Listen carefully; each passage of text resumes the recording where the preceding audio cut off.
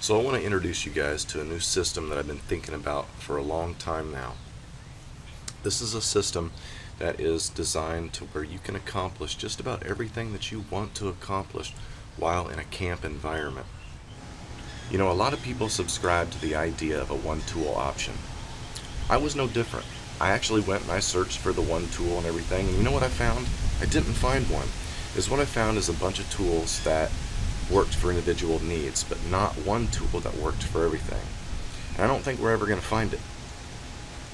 So a lot of people build a sheath around the one tool philosophy. And I like this idea.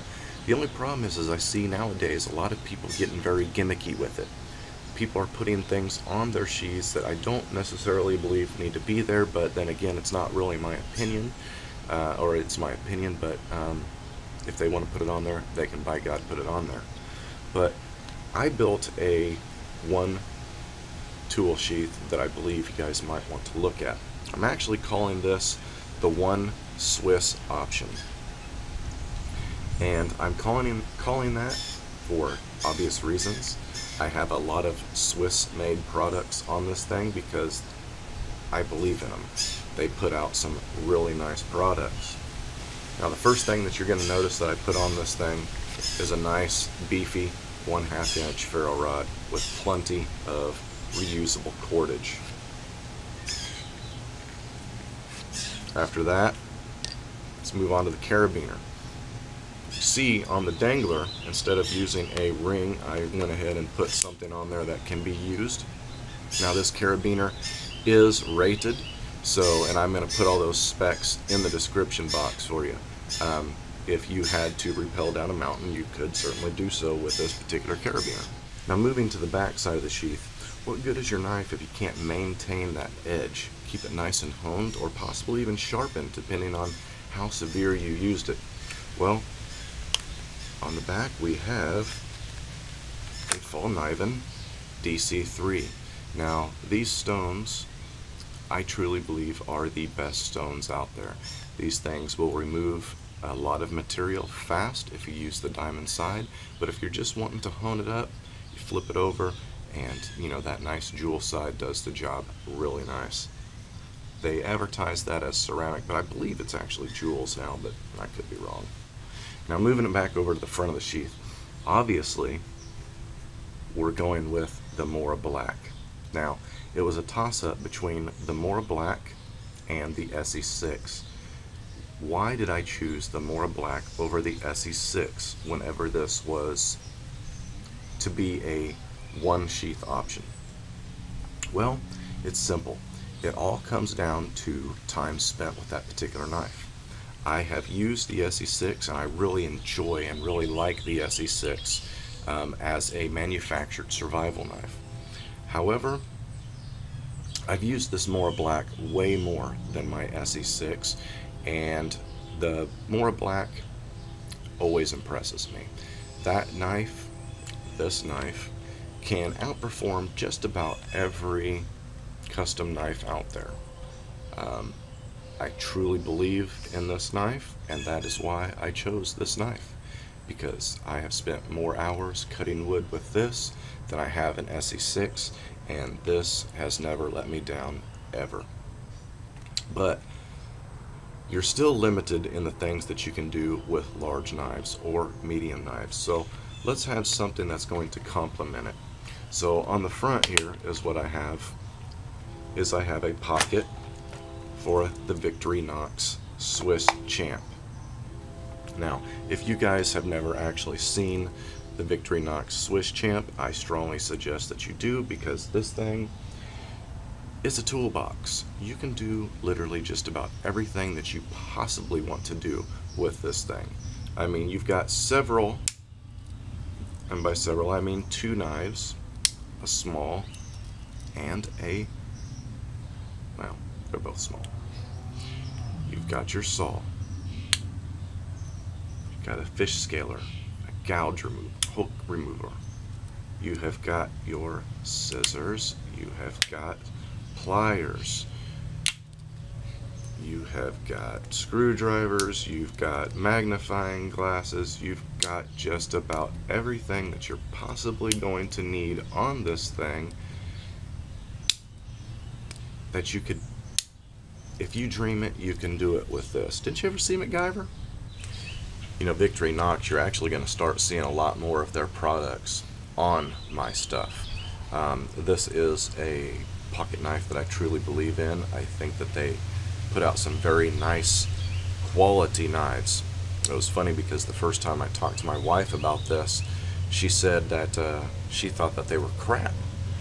And is what she was meaning is she had ran across somebody that had a fake Victorinox pocket knife, and if you ever run across one of those, they are absolute dog crap.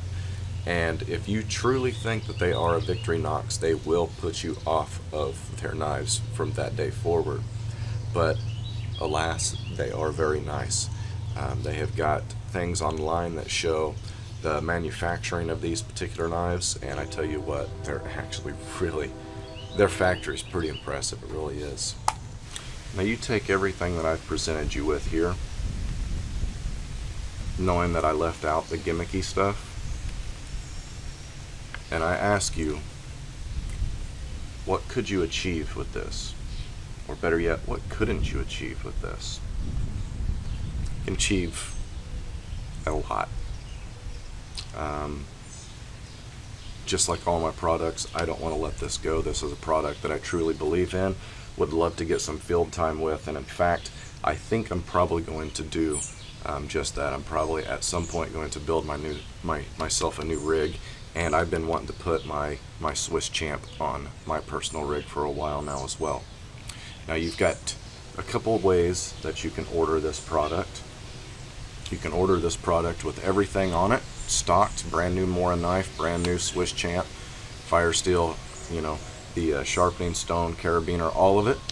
Um, or you can buy this as an individual sheath that will come just with the carabiner so if you're watching this video right now, how do you know that this item is still available or if this item has been sold? Well, look at the title. If the title says available, the item is available. Go to my website, order it. If the title says sold, it's no longer available. I still encourage you to go to my website because you never know. You're still going to find things there that you may not know I had. Moving into the future, um, knowing that my backlog is dang near complete. So if you are one of the people that are waiting for an item, know that you are getting very close because my backlog is very small at this particular moment. So moving into the future is what we're going to be doing is we're going to be building new items such as this um, around basically I'm going to be buying up items that I truly stand behind that I support and I believe in and I'm going to be outfitting them and making them available. Um, I'm not going to be doing as much custom work as I usually have. I'm not going to get myself into another predicament with a very long backlog with hundreds of bosses. It's just not going to happen. So is what we're going to do is, like I said, I'm going to make items that I want to make, offer them for sale. Now occasionally you're going to see me get on my Facebook group and say something along the lines of, okay, I am now going to take five custom orders who wants in on this and I'm going to take it to personal message at that point and we will hash things out.